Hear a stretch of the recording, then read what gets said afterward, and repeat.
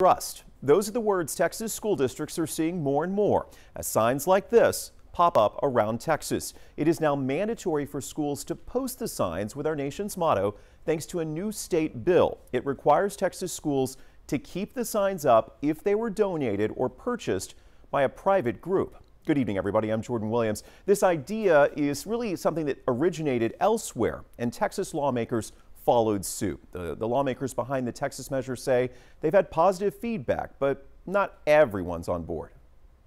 I think it reminds us uh, that we are a nation that believes in a power greater than ourselves. Well, the point is, is that we are America, and not everyone does believe in the same God.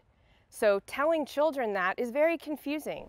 Well, In God We Trust signs are already being donated in cities including Dallas and Houston.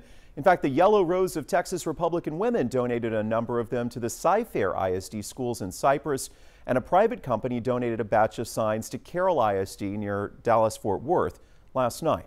So how did this bill come about? Well, Senate Bill 797 was first penned in 2003 by State Senator Bryan Hughes. It originally just allowed school districts to display the sign if they wanted to display the statement of faith. But last year it was pushed further by Hughes and Representative Tom Oliverson.